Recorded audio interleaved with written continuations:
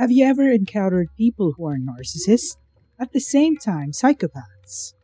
Can you distinguish the difference between the two? I'm going to share the differences between narcissists and psychopaths. A narcissistic mindset develops as the person grows up. Here are their five statements. 5. I adore myself, and I'm sure you do as well. We all know that the narcissist loves to brag about themselves to the public or even to their families. The narcissist wants to expect something from someone. They love themselves and they want you to also love them back. They only care about themselves and do not care about others. In short, narcissists love only themselves and do something only for their own interest. But keep in mind that a person will only become a narcissist because of the environmental influence. Have you seen a person developing this kind of thinking? If you do, guide him or her to a better light. 4. There is no need for me to apologize. Have you ever seen someone who never apologizes, even though they knew that they were wrong? It's frustrating, right? Seeing someone who doesn't admit their mistakes, well, that is the narcissistic attitude that we expect. Narcissist's chance in apologizing is close to zero, and that is a fact. If you ever hear a narcissist apologizing, always put in your mind that it is a false apology, where the narcissist makes excuses for their actions in order to not feel guilty. Have you dated someone who always blames you for the misfortunes in your relationship? 3. The majority of folks aren't up to par. This mindset makes the narcissist think that they are the best ones to lead people, be it a job, relationship, career, and other fields in life. Most of the time, they think that no one is better at leading than they are. Well, some narcissists are doing a great job leading a team. The only thing is, most of them take all the credit and don't share it with anyone in the team. They boast about the team's achievement and take all the credit even though everyone should be praised for doing the hard work. Unbelievable, right? What is your take on this if you were a part of that narcissist team? How would you respond? Do you let it slide or will you fight for yours and your teammates' rights? The choice is yours. 2. In this world, I have few equals and I have yet to meet one. A person who develops narcissistic traits will always think that they are the best in the world. They think that no one else could do better than them in every aspect in life, which is why they think highly of themselves. Can you imagine someone who thinks that no one can beat him in any field? I know what you're thinking. Arrogant, right?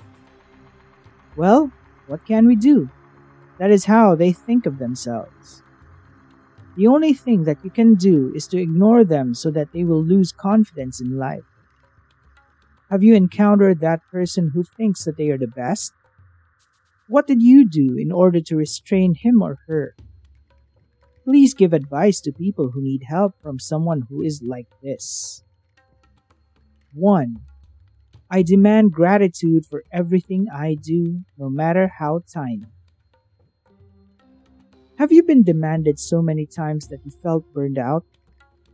And from being demanded, you were never appreciated by the things you did for the person? By the way, what do you call that person again? A narcissist, if you ask me.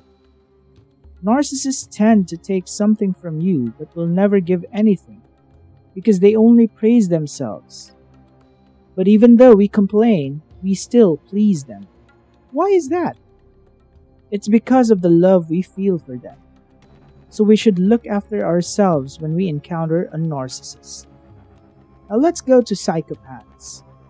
Psychopaths are people who are naturally born with it. These are the psychopath's mindset. 5. What about my rights? I couldn't care less about human rights. Narcissists can also be psychopaths, but not all psychopaths can be narcissists. This is a fact. Narcissists are capable of showing emotions because they always seek attention from people and be acknowledged. Psychopaths, on the other hand, don't show emotions. They are like human machines that don't feel pain emotionally. This is proven since they don't care what they are doing and they don't care about rules.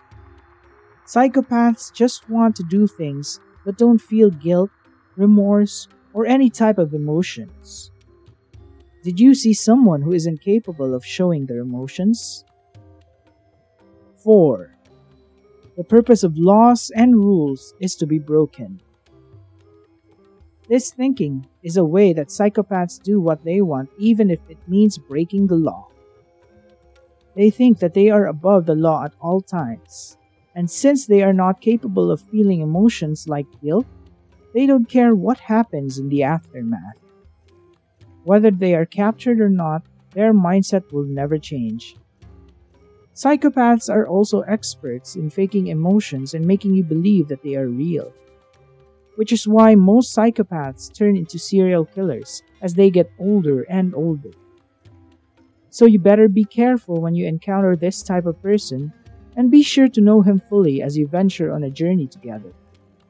Because most cases like this, even if you knew him for a very long time, you can never tell if he or she is keeping secrets from you.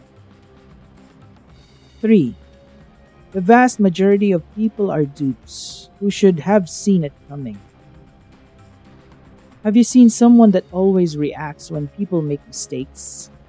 That person can either be a narcissist, a psychopath, or even both. They complain and complain even though they have no right.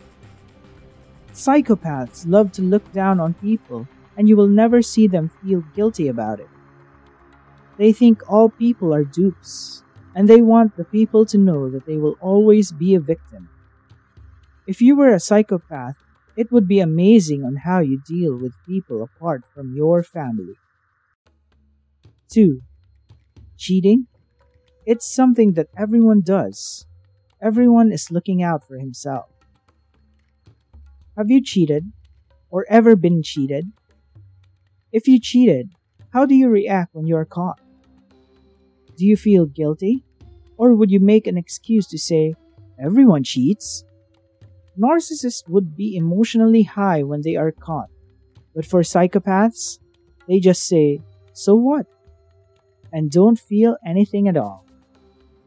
Since psychopaths are incapable of building emotions, they will never be able to have a strong attachment to anyone, even their family and friends. 1. What harm will it do me if I lie? Everyone deceives you. If someone important to you lied, what would you do? After doing what you need to that person, what was their reaction? Did they ever feel remorse? If they didn't, you better watch out for yourself because the person may be a psychopath. When doing something wrong, they justify and get out of the situation. They don't also care what the result may be as long as they did it. When the narcissist lies, they will not stop until they make you forget that they lie. But when it comes to the psychopath, it would be a different story because they will never give you an explanation as to why they did it. So, what do you think are the difference between narcissists and psychopaths? Maybe they're the same, or maybe not. Are you seeing the differences between them? To us, narcissists are too emotional and psychopaths are too insensitive. What topics of narcissistic relationships interest you the most? Do you have topics you want us to cover? Tell us in the comments below.